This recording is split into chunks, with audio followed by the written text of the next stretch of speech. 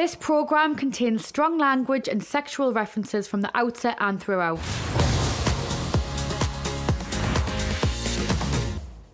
There was so many times in my life that I believed the world when they told me that no one was ever going to want to marry someone like me. So to actually come from feeling like that to having someone who loves and respects me and treats me exactly how I want to be treated every single day of my life, it's just something I cannot even describe.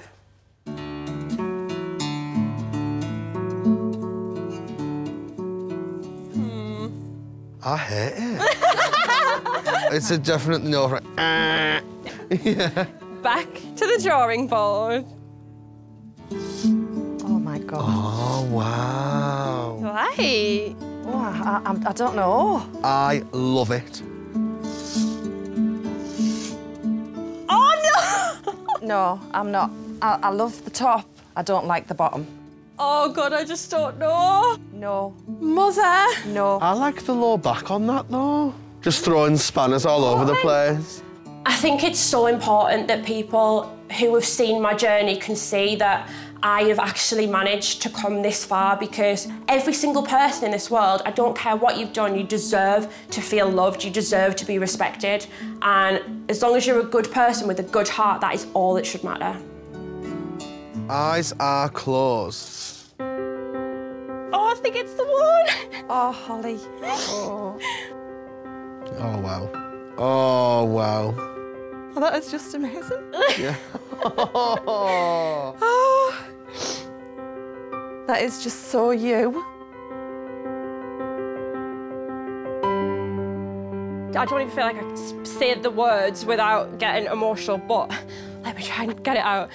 You deserve to be the happiest person, the happiest lady and beautiful girl in the world. I know, and like, I feel like I know that now. Like, I know that I do, I deserve everything I've got in my life Can you now. imagine standing there two years ago? No, never.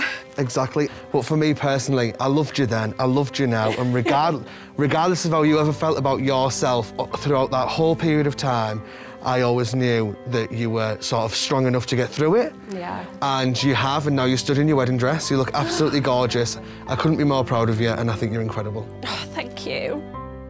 I'm saying yes to the dress.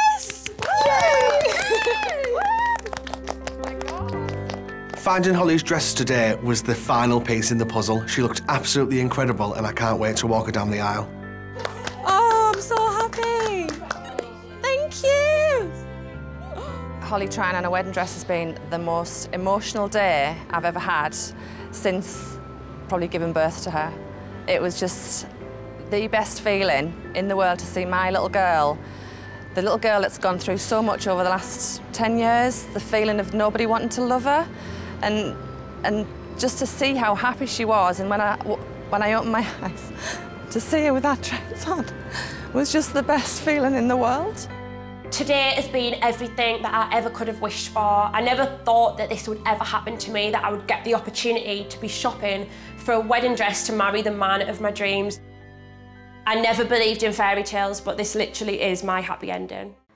Hey guys, it's Marnie here. If you want more Geordie OG videos like this one, then don't forget to like and subscribe now. What are you waiting for?